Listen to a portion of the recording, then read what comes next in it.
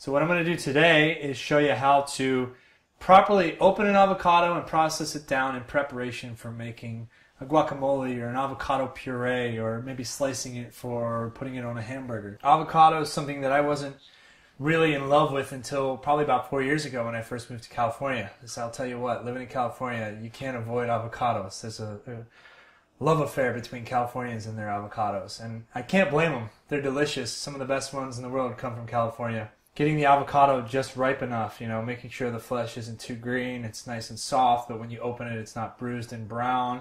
There's techniques to all this. So first off, it's checking and inspecting the avocado, making sure it's ripe, that it's not too hard. If you get avocados that are too hard, you're going to take them, put them in a brown bag somewhere in your kitchen, out on the counter for a day or two, and day later, perfectly black, nice and soft ripening process. Go figure. It's a little, neat little trick that I've learned over the last couple of years living in California.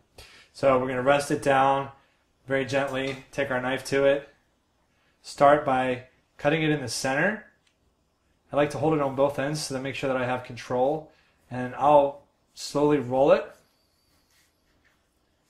to cut it because there's a giant core in the center of the avocado.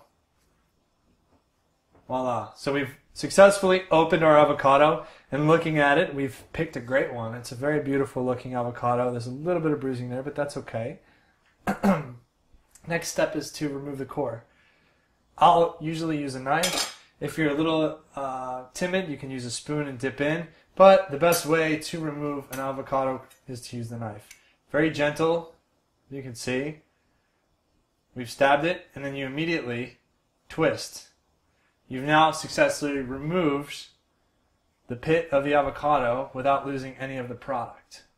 The next step, you can go straight in with a spoon and you can scoop it out whole.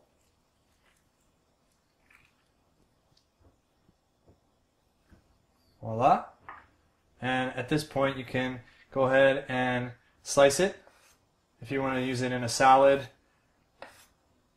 or maybe put it on your hamburger. The other alternative, if you're making something like a puree or a guacamole and you want to have it nice and chunky, is to very delicately, very carefully score it. Very careful because if you're too harsh, you can go straight through the skin in your hands. If you're not comfortable doing it in your hand, it's always safer. Place it on the board. Watch your fingers. Okay, so we've successfully scored our avocado. Then we're going to bring our platter over here. You can do the same technique with a spoon. The spoon works best, scoops in perfectly. And you have now successfully gotten your avocado down into chunks that you can now process down into avocado puree, guacamole, um, or some sort of compote. And that, folks, is how you break down an avocado.